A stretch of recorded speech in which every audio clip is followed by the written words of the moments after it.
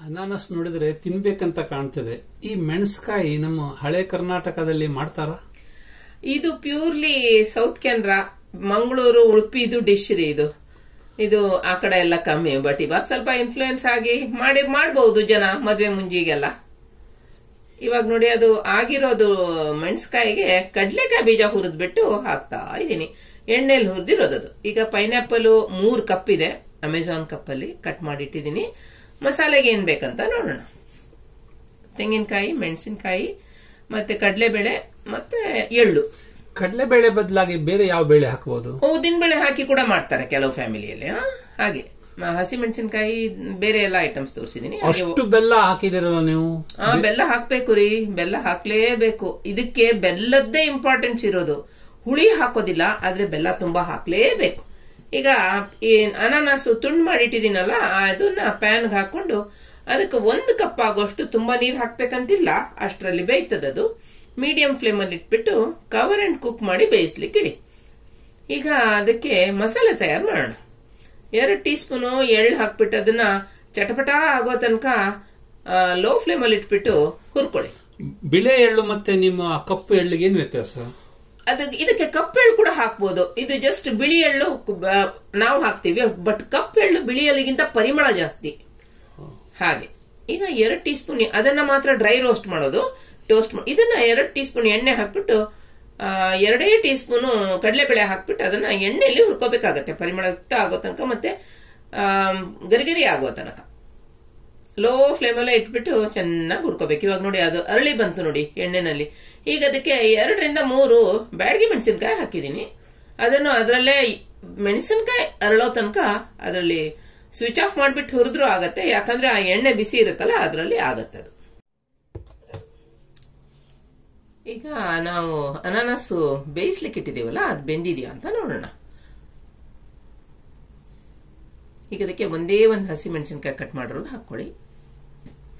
ಅದು ಒಂದು ಎಕ್ಸ್ಟ್ರಾ ಫ್ಲೇವರ್ಗೆ ಹಾಕೋದು. ರುಚಿಗೆ ತಕ್ಕಷ್ಟು ಉಪ್ಪು ಹಾಕ್ಕೊಳ್ಳಿ ಹಾಗೆ ಸ್ವಲ್ಪ ಅರಿಶಿನ ಪುಡಿ ಹಾಕೊಳ್ಳಿ. ಎರಡು ಚಿಟಕಿ ಹಾಕಿದ್ರೆ ಸಾಕು. ಬೆಲ್ಲ ಮಾತ್ರ ಸ್ವಲ್ಪ ಜಾಸ್ತಿ ಹಾಕೋಬೇಕಾಗತ್ತೆ. ಮೂರ್ನಾಲ್ಕು ಟೇಬಲ್ ಸ್ಪೂನ್ ಹಾಕಿದ್ರೆ ಸಾಕು. ಅಷ್ಟು ಬೆಲ್ಲ ಹಾಕಬೇಕಾ? ಅದೇ ಈ ಮೆಣಸ್ಕಾಯಿನಲ್ಲಿ ಇರೋದು ವಿಶೇಷತೆ. ಹುಳಿ ಸಿಹಿ ಉಪ್ಪು ಎಲ್ಲ ತುಂಬಾ ರುಚಿಯಾಗುತ್ತೆ. ಇದು ಕವರ್ ಅಂಡ್ ಕುಕ್ ಮಾಡಿ ಐದು ನಿಮಿಷ ತನಕ ಫ್ಲೇವರ್ಸ್ ಎಲ್ಲ ಅಬ್ಸರ್ವ್ ಆಗಬೇಕು. ಈಗ ಮಸಾಲೆ ರುಬ್ಬೋಣ.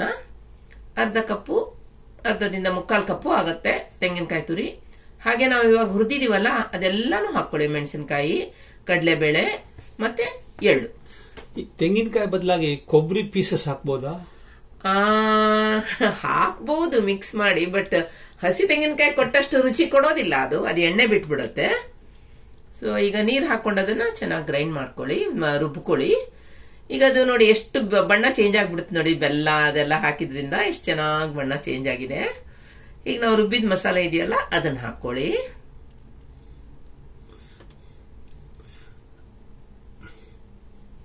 ಒಂದು ಒಳ್ಳೆ ಮಿಕ್ಸ್ ಕೊಡಿ ಅದಕ್ಕೆ. ಈ ಮಸಾಲೆ ಬಣ್ಣ ನೋಡಿದ್ರೆ ಬಹಳ ಖಾರ ಅಂತ. ಇಲ್ಲ ಅದು ಬ್ಯಾಡ್ಗೆ ಮೆಣಸಿನ್ಕಾಯಿ ಯಾವತ್ತು ಬಣ್ಣ ರೀ ಇದು ಗುಂಟೂರಲ್ಲ ಇದು. ಗುಂಟೂರು ಹಾಕ್ಬಿಟ್ರೆ ಏನಿಲ್ಲ. ಮೂರ್ ಹಾಕಕ್ ಮೂರ್ ತುಂಬಾ ಜಾಸ್ತಿ ಆಗತ್ತೆ ಗುಂಟೂರು ಹಾಕಿದ್ರೆ. ಇದು ಬ್ಯಾಡ್ಗೆ ಆಗಿದ್ರಿಂದ ಮತ್ತೆ ಮೆಣಸಿನ್ಕಾಯಿ ಚೆನ್ನಾಗಿದೆ ಹೊಸ್ತು ಅದರಿಂದ ಚೆನ್ನಾಗಿ ಬಣ್ಣ ಕೊಟ್ಟಿದೆ. ಒಂದು ಮಿಕ್ಸ್ ಕೊಡಿ ಚೆನ್ನಾಗಿ.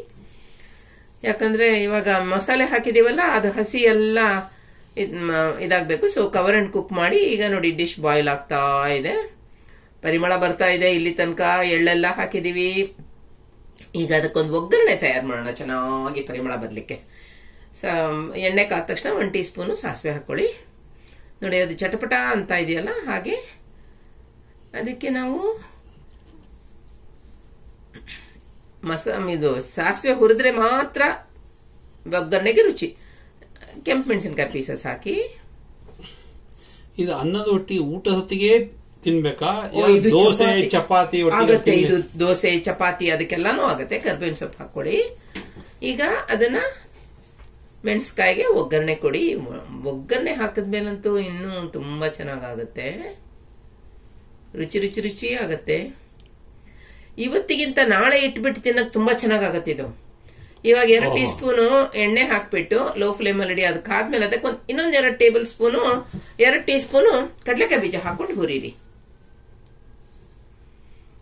ಈ ಕಡ್ಲೆಕಾಯಿ ಬೀಜ ಹಾಕೋದ್ರಿಂದ ನಮ್ಗೆ ತಿನ್ಬೇಕಾದ್ರೆ ಆಗಾಗ ಆಗಾಗ ಒಂದೊಂದು ಬೀಜ ಸಿಗತ್ತಲ್ಲ ತುಂಬಾ ರುಚಿ ಆಗತ್ತಿದು ಹುರಿದಿರೋ ಬೀಜ ಅದಕ್ಕೆ ಹಾಕಿದ್ರಿಂದ ತುಂಬ ಟೇಸ್ಟಿ ಆಗುತ್ತೆ. ಇದು ಉಡುಪಿ ಕಡೆ ಮಾತ್ರ ಹಾಕೋದು.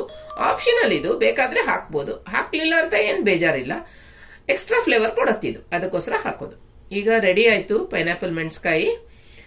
ನನ್ನ ಚಾನಲ್ಗೆ ಸಬ್ಸ್ಕ್ರೈಬ್ ಮಾಡದೇ ಇದ್ರೆ ಇಷ್ಟು ತನಕ ಎಲ್ಲರೂ ಸಬ್ಸ್ಕ್ರೈಬ್ ಮಾಡಿ. ಈ ಲಿಂಕ್ನ ನಿಮ್ಮ ಫ್ರೆಂಡ್ಸ್ ಜೊತೆ ರಿಲೇಟಿವ್ಸ್ ಜೊತೆ ಶೇರ್ ಮಾಡಿ. ಎಲ್ಲರಿಗೆ ನಮಸ್ಕಾರ.